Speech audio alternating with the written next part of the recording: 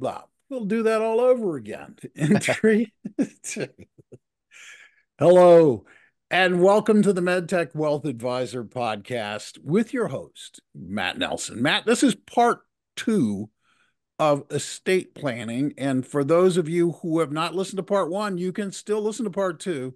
But I would urge you to go back and listen to some of the things covered in part one as well, because it, it was a terrific conversation. And Matt, I'm looking forward to a continuation of, of that conversation, if you will. Yes, I, I really am too. And I'm, I'm glad to have uh, Jennifer Santini back with us and and uh, keep educating us. I learn something every time I talk to her. So you, even though I'm doing this all of the time with clients, I mean, mm-hmm. I'm not an attorney, so that's why we bring professionals in to to take care of it. No, well, I to be honest with you, I learned some things in that last episode as well that I didn't know. So stick around, folks. Learn yes. some things. Yeah. So just as a as a quick uh, recap, if you haven't heard the first episode, we we wanted to talk about why you even need to be thinking about estate planning in the first place. You know, kind of unravel the the complication. It's not. It, it it doesn't have to be made so complex of you know major wills and trusts and and piles of documents. I mean, there's some just basics to put in place. Okay. And we talked about powers of attorney and healthcare directives and just basic beneficiary designations in the, the first episode. But you know what what that evolves into then, as we'll we'll uh, discuss, is now we have to look at issues like taxes and what happens if you go to an, uh, a nursing home or you know why you should have a trust in place. We have a lot of clients with um, th- that are business owners that mm-hmm. uh, you know have founded a med tech company, other other businesses. That gets a little bit more complex as well. Maybe maybe assets in multiple states. So Jennifer, I'm just kind of unpacking okay. some of that for us, but uh, today let's let's just go kind of beyond the basics um, yeah. and uh, discuss what things like complex property might might uh, sure. uh, do to your state plan when we want to mm-hmm. get a trust involved mm-hmm. um, and you know we'll touch on a little bit of taxes and maybe some elder care planning at the end um, so where do you sure. want to start you want to just uh, sure. Uh... sure we can you know maybe just to sort of pick up you know where we left off is we were talking about wills and the fact that it is important to have one because in the absence of a will you're relying on the state to govern what happens with your assets and so a common misconception that people will have is if i you know i need a will because i need to avoid avoid probate which for some people if you're not aware of probate is the court process it's having to go through the court process to get somebody appointed as the executor, or again, in Minnesota, we refer to it as a personal representative. And so your will means that you get to be empowered to make those decisions versus relying on what the, the state says. We are fortunate here in Minnesota that probate's really not that bad, but there are other states where probate is not fun to go through. And again, I mentioned in the last episode, you know, California just happens to be one of those states. And so that's where you will start to see people consider utilizing other tools. And it may not even just be because of the state or because of going through the probate process, but there may be various other reasons to do with what we refer to as a living revocable trust. Hmm. And so a living revocable trust, we refer to it as a will substitute. So that, you know, that really becomes your primary at death, you know, uh, estate planning document. Although the difference is that a living revocable trust does also provide some incapacity planning. Um, you know, we had talked about the power of attorney in the first episode, but with a trust, if you have assets in that trust and think of i always which i have right here a vessel a mug or you know an entity where you're putting certain assets into that trust so that you don't really own them anymore. They're titled in the name of the trust. And if you became incapacitated you will have named somebody to help oversee those assets still while you're living but again if you can't manage those assets. Sure. So can a so a trust then could could become the owner of just about anything you own, including businesses, even? Yes. Yep. So for some business owners, like you had mentioned, the you know if they're the sole shareholder or they're you know the sole LLC member, they may assign or transfer their interest to the trust so that the trustee technically is now the owner of those. And they may do that during their lifetime, or they may do that at death. They may do what we refer to as a transfer on death designation of their you know uh, closely held corporate shares to say, at my death, I want these shares to get transferred to my trust. And now I've named a trustee to oversee those those assets for the benefit of my beneficiaries. Okay. So when, you know, when is it appropriate to start thinking about trust? You you mentioned a couple things, but but why why go to that extra work? Yeah, and I think that that's a great question because, you know, we do get a lot of clients that will come in and they'll say, "I need a trust." And again, you will talk to different practitioners. They will approach things differently. There are some practitioners that use trust all the time. I think there are some practitioners that don't. And we at our firm, we really try to say, does it make the most sense? And so I sort of have a check the box, you know, of, of a few things that really sort of maybe sway me to utilize a trust versus not. Um, and one of the very first pieces is usually do the clients own assets outside of Minnesota? So we just talked about a business being put into a trust, but another main asset that you often see titled in trust is real property. So um, I think it is important to also take a moment to define what triggers probate. Um, and so my definition is that if you have a probate asset, it means it's an asset solely in your name at the time of your death, and there's no mechanism to transfer it. There's nobody that automatically falls into place to take ownership or control. And so, yeah, and so to, to define first, non-probate assets, which a lot of the assets that you are dealing with, Matt, your retirement accounts, your life insurance policy, your brokerage accounts, or again, you guys, do you refer to them as TOD accounts? Right, um, transfer on death, exactly. Exactly. So at your death, they're already designated. They're already spoken for of what's going to happen to them. And for a lot of couples, they'll own a bulk of those types of assets, and then they'll own joint assets. So your joint bank account, your joint brokerage account, and again, assuming the home is jointly owned, when one person passes, the survivor, usually it's defaulting to the surviving owner. Mm-hmm. But now it's when somebody is the sole owner of real property. And maybe they're the sole owner of their house here in Minnesota and they've got that second home in Arizona.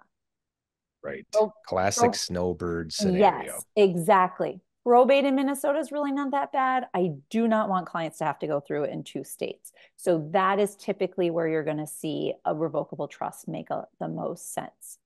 Okay. I would also say there's two other like little check boxes. For me, it's if I know from an administration side. So you'd mentioned, you know, learning things, you know, constantly when we talk. I learn something new every time I do an administration. So every time I do an administration, there's some little quirk that says, oh, this is why we should have, you know, it maybe should have been done this way, or this in, you know, or years ago I had something. And so this is why I plan for it this way. And so if I know from the backside, it is going to be easier to do um, to to administer through a trust. Maybe you need a trust for long term. Maybe you're wanting to do a trust for an adult child that has money issues um, and you're going to need to keep them the funds protected. Well it's already in that structure. Um, blended families i think is another big one. Second marriages spouse one passes away. They want to provide for surviving spouse but they want to be able to control what happens at surviving spouse's death um, having that trust structure can can really help. Okay, so it's so that's that's good clarification because I think a lot of times I'll I'll uh, clients that talk to me get the impression that they have to have a, a very complex situation, right. millions and millions of dollars and lots and lots of property. But I think right. what you're saying is, well, that is one reason. Yeah. But um, maybe they don't even have any uh, assets outside the state, but there's just there's enough complexity and enough uh, enough different wishes they have in the way that they want their assets to pass that yeah. uh, some administration would be easier yeah. with a trust. You know, Matt, I always, when I'm speaking for various seminars, I give a, an example of one of our mutual clients, which was a single gentleman, owned a home. And I really thought a will, a will would be fine. And then he said, Well, I would like to leave these 25 specific gifts to people and it ranged from like $5,000 to this person and $1,000 to this person. And it was like Susie at the bar and you know this right. guy that I worked with. And again we did it as a trust because it made it easier from an administration side versus when you go through probate all of those people would have had to be given notice about the proceeding. All of those Right. people, we would have needed full legal names, addresses. And so again, we did it as a trust and it made it much easier to administer. So Yeah, that's a fantastic example. I know Yeah. exactly who you're talking about, and it's it's it's very it's fun to see because that's you know uh, that that individual's wishes were carried out, Yeah. and um, it didn't matter that the some of the gifts were relatively um, oh, relatively small, right? But correct. Yes, but at the end of the day, um, this this person, you know, felt like during their lifetime, they knew that Yeah. the that what they had accumulated and saved, the people that were important to them, they were going to be able to take care of in a way that that mattered. And yes, so that was that's a great uh yep, it's a great way to think about estate planning beyond just the mechanics of the law. It's yes, what, you know, is it is it really uh serving what your which your wishes were? right. Yeah, very much so. Very That's much very so. good. Well, okay, so uh, let's touch. let- Let's maybe touch on taxes because um, Yes. often I hear, "Oh, well, you just set up a trust so you can avoid paying taxes." That's that's the whole reason. Yes, yes.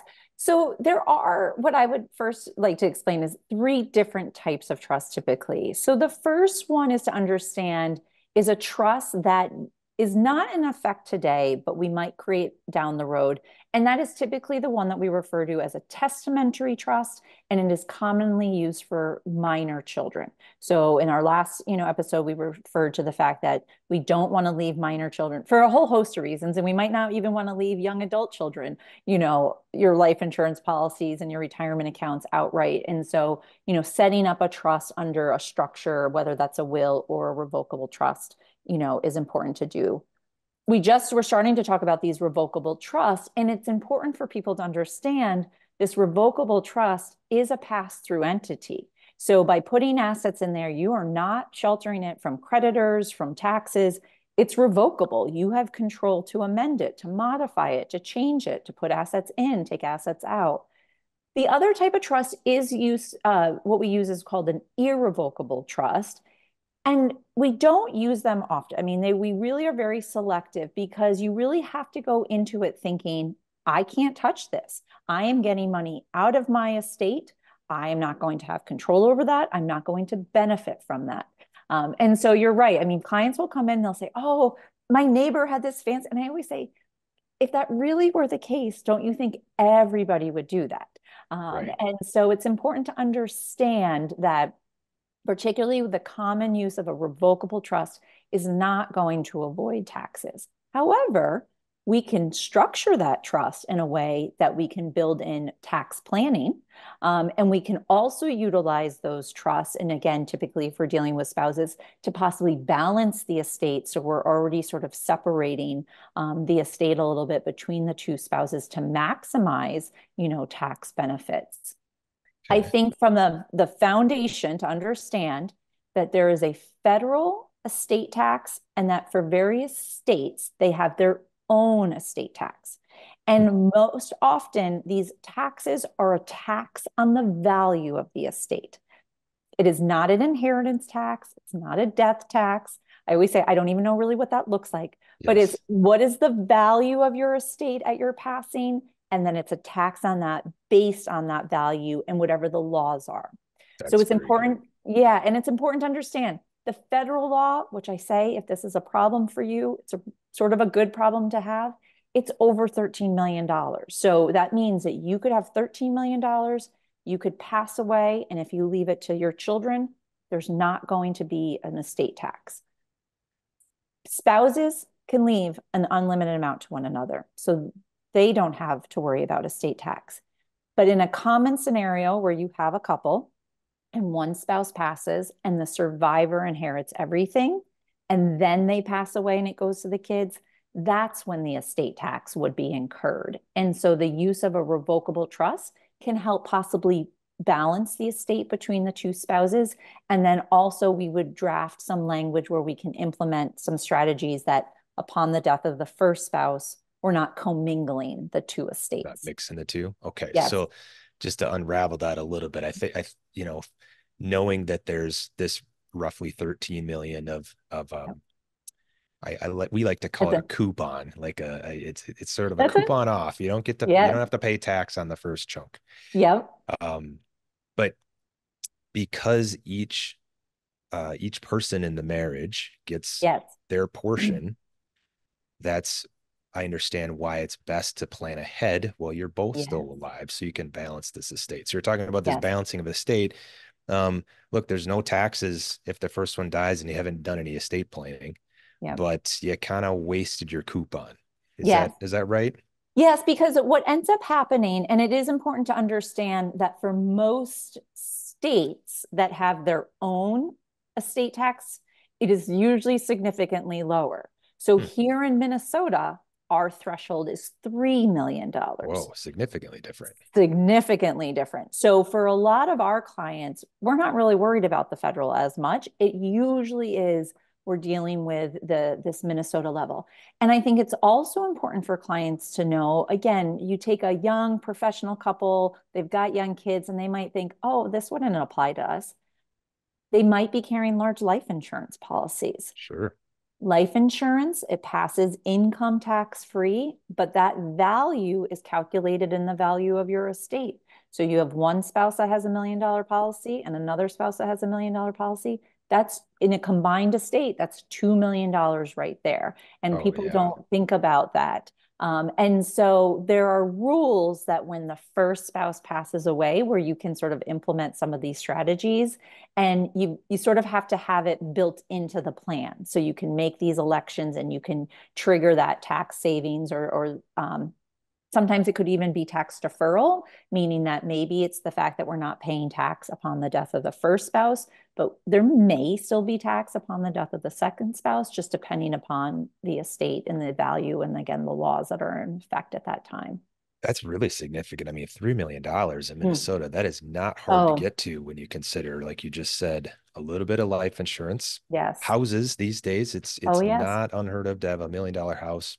very easily these days, yes um, just with real estate prices and a, and throw in a couple IRAs and there you go. So oh yeah I, I think a lot of clients don't really realize the, Correct. the, the issue that they're at already. Um, I- and and not just maybe not just today, but when we're doing the planning, Mm. um, you know, just helping people understand, like, you know, you're maybe not there today, but based on what we're doing and the strategies we Mhm. have in place, it's just a few short years, and this is going to be a problem. We need to plan. We need to get out ahead of it. A hundred percent. And, you know, we are always trying to say, we're trying to put a plan in that place that would grow with them.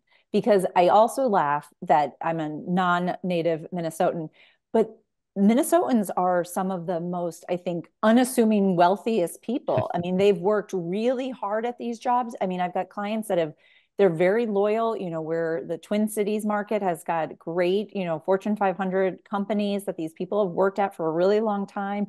They have saved really well. They might have, you know, stock options that they've had from these companies. And so I, it's often that I have clients that come in and they'll say, we do not, we're not even anywhere close. But you start to talk with them and you start adding things up and they're going, oh, I guess we're in a better position than we thought we were. Um, Yes. And so it is. And then, and then again, you've got clients that they might be addressing their estate plan for the first time because they're really more concerned about the guardianship nomination and protecting things for their minor kids. But they're going to grow, right? Their assets are going to grow. They're getting into their potential, you know, their high earning years. They're possibly going to get promotions or, you know, and Right. so, yeah, you're wanting to put a plan that's somewhat flexible and will grow with them. Absolutely. Yeah. So uh, you you touched on there the guardianship issues. Why don't we kind Mhm. of back up a second um and and talk about when there's minor children Yeah. and and also I would say I, I want to discuss um maybe couples that don't have children Yes. or a single individual. When Yeah. would um you know maybe a corporate trustee come into place or someone that's not a Sure. family member to help take care of things? Sure. Yes. And actually, I think it was in the last episode that I had mentioned that, you know, sometimes it is the the single individual or the the people that possibly don't have children that they can be sometimes the trickiest to plan for. I mean, I think us as parents, you know, you sort of have this default of, oh gosh, well, we're both gone, you know, everything's going to go to our kids, and it seems somewhat of that default. Um, but you know, with with people that they're trying to figure out what do they want to do with their assets, um, and so certainly if clients are thinking that they do want to possibly leave assets for maybe nieces and nephews, again, even though they're not your children, if they're minors, we got to protect those assets for them, and so making sure that we're we're structuring that that sense. Um, and then certainly it's you know when we're trying to decide who to name in some of these roles. I mean, I do spend significant time, even when I'm talking with parents and we're trying to address this with their, with regards to their own minor children. The trustee role to oversee assets for young children is a really, really important and um, particular role that you've got to give a lot of consideration because people are you know having a lot of discretion and i i think particularly as parents when we are raising our kids it's how are we raising our kids as it relates to values and money um, and so you mm-hmm. really got to make sure you've got the right people in place but if you don't have somebody like that in your life you may need to look to a professional to do that yeah you know it makes me think of a you know a couple different stories just client stories that we have but mm-hmm. one in mm-hmm. particular and it's it's just it's unfortunate, but is a situation where there's my, minor children, parents passed away, large life insurance mm. policy. No trust in place. Mm. So therefore, um, all the challenges that come with that, but more or less, just to simplify it, the the assets, um, you know, were put in an account for that child's benefit, and fully available when that child turned 18. Mm-hmm. Now, yes no matter how many times I tried to simplify it and talk to these under 18 year old kids um, and help them understand a little bit about the compounding of, of, money and how that worked. And even after they turned 18, yeah. and how they may not ever have to save for retirement again if they would treat this correctly.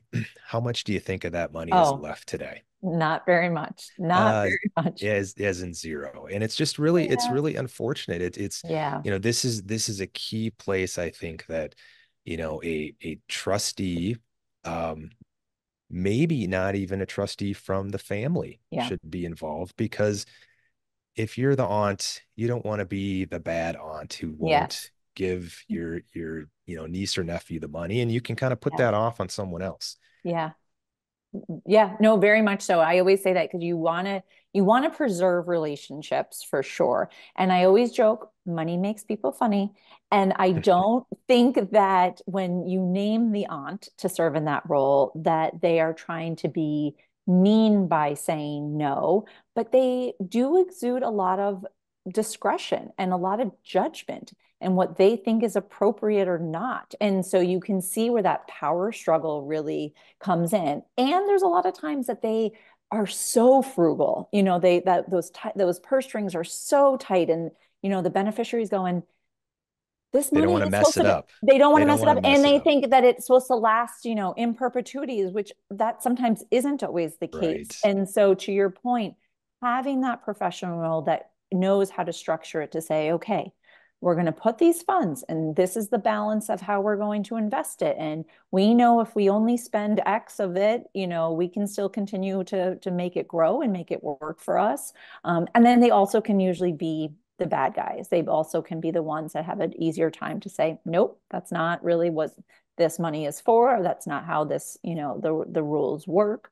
Um, and then certainly i think you know you started uh, the conversation a little bit too with regards to trust um, and clients that have unique assets. So there are some clients where if those business interests are going to stay in trust i've had several clients where they do want their kids to have the option to possibly continue these businesses um, but they might also not be of the age that they will be able to do it you know if the if the parent passed right away.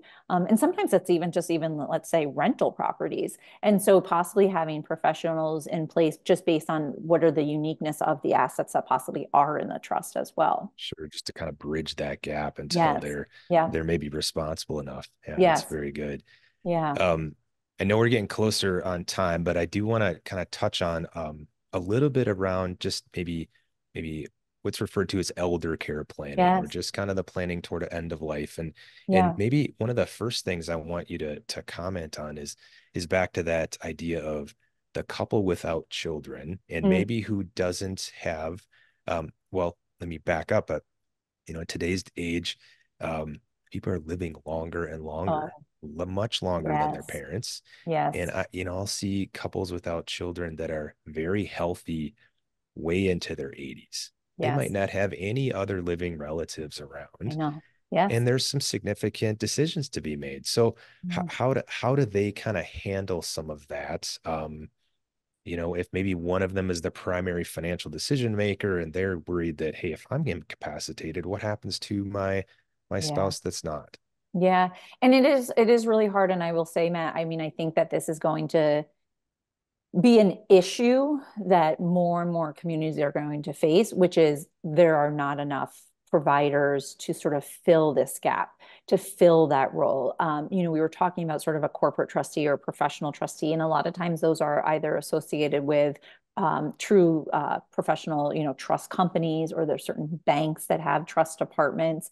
Um, but to your point, sometimes it's needing more of that individual professional fiduciary to serve yeah. in some of those incapacity roles for these clients because they again they don't have anybody to name um, and it is a huge huge struggle um, so it takes a lot of sort of networking and talking to people to get those referrals and then you know when you sit down with clients to say okay you you might be that candidate to to reach out but let's have that conversation and let's make sure that you feel comfortable with this person that is not related to you making some of these decisions.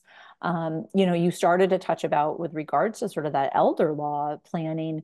Um, you know, that is a very, very unique area of the law. It's always, I always say, we, I know enough about it, particularly here in Minnesota, to be dangerous. But we, again, certainly those are things where we possibly refer out, um, particularly when that need is um, is true.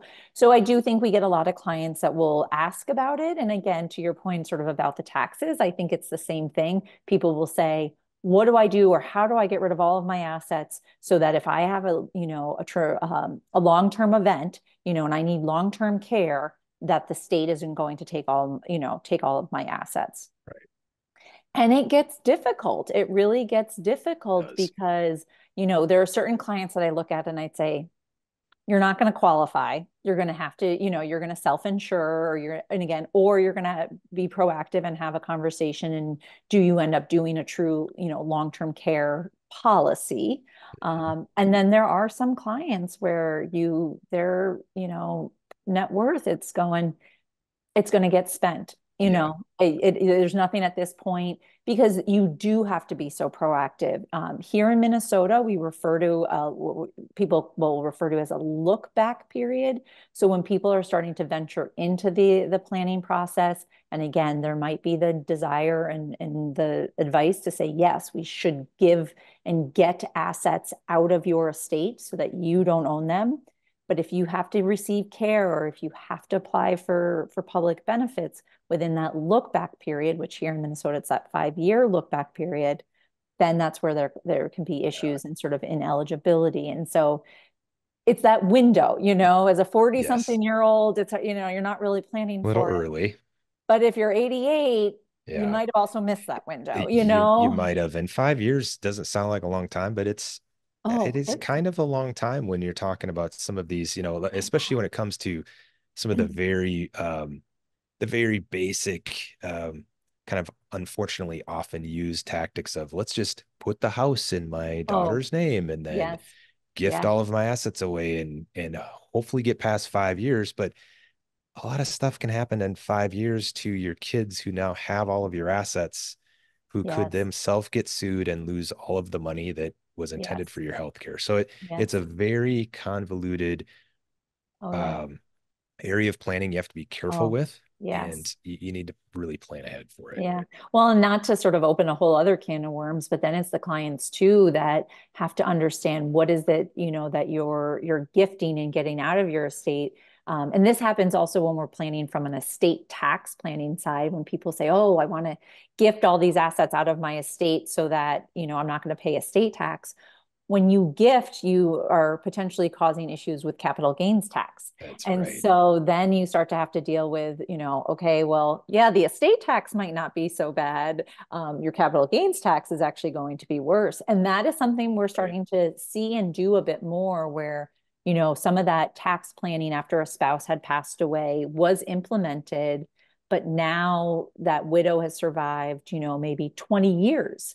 And now yes. we're saying, oh gosh, you know, when they pass away, we actually might be worse off with this capital gains exposure than we would be with the estate tax. That that's right, um, exactly. So. This this is this is a fantastic like kind of uh area of planning we could go down for a while. Yes. But I I, I think yeah. the maybe the takeaway is that uh, just you know don't make knee jerk reactions thinking you're trying to solve one problem and ultimately create three other problems. Yes. And and so it's a the, the whole financial yeah. planning and estate planning and tax planning it's a giant yeah. puzzle that you yes. have to just kind of build from the outside edges in and yes. um, every piece you move might change the other piece so i know very good yeah. very good information jen i always love talking to you yes um, of course we might have to have you come of back course. on some yes. other time we'll pick one of these topics yes um you know bill i think we're gonna we're gonna kind of wrap it up there and and and I want to just put this message out to listeners that, you know,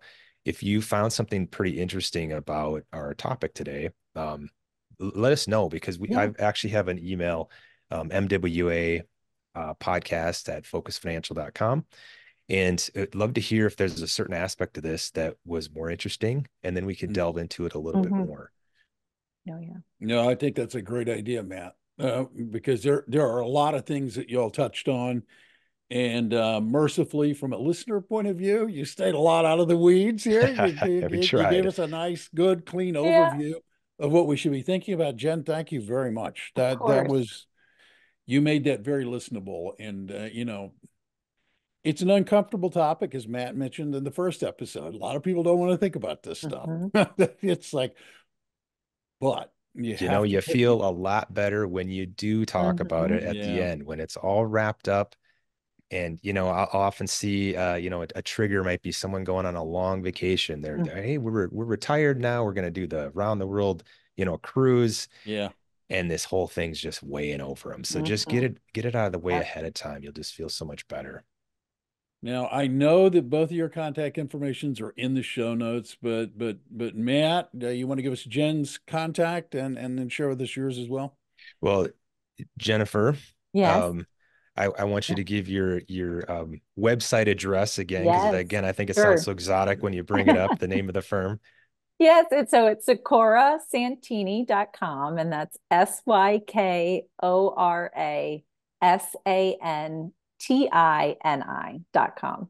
And are you on LinkedIn and other social media outlets as well? Yes. We probably are not as good, probably as you are, truthfully, but we are on on all of them. Okay, great. We'll put yeah. that in the show notes as well. And you can, of course, uh, you know, visit our website at perspective6group.com, the number six, and uh, check out. We we do have some estate planning articles there as well. We'll link to the um, to the various uh, places how to contact Jen in the show notes. You can find the show notes out on our website. Um, you can also give us a call if you want to chat, have a second opinion, or get in touch with Jen. So my number is 952 225 0333. And uh, yes, until until next time. Well, you know, until next time, th- those of you who are listening, if you have an idea about something you would like to hear Matt address in these podcasts, reach out and get in, in touch with him. As well as if you have any questions about the issues of estate planning, that have come up in the past two episodes. We'd love to hear from you and we'd love the opportunity to address those questions and give you some answers, as a matter of fact. For those of you who are regular listeners, thanks for listening. For those of you who are listening who are not yet subscribers, well, this is easy. You hit subscribe. Uh, that's all you have to do. You can hit subscribe, and then you don't have to think when and where or whatever about who was that guy and when did I hear it you will automatically be notified when Matt puts out a new edition of the MedTech Wealth Advisor. It's really that simple. We'd also ask that if you would, rate it and share it. Let people know about what Matt is talking about here and how you find it helpful to listen. Until next time, on behalf of Matt and everybody at Perspective 6, I'm Bill Tucker, thanking you for listening and reminding you that you do have an opportunity today to go out and make it a great day or not. It is your choice. Until next time.